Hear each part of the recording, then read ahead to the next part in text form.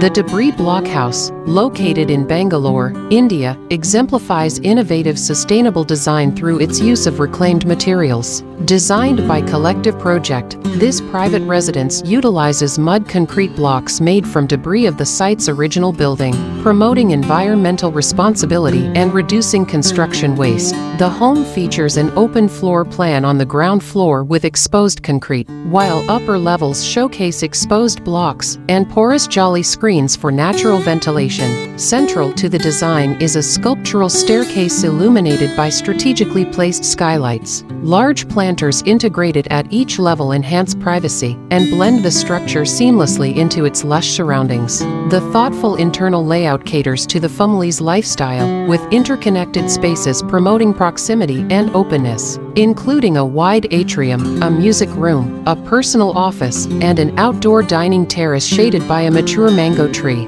This project serves as a model for responsible construction, merging sustainability with aesthetic appeal.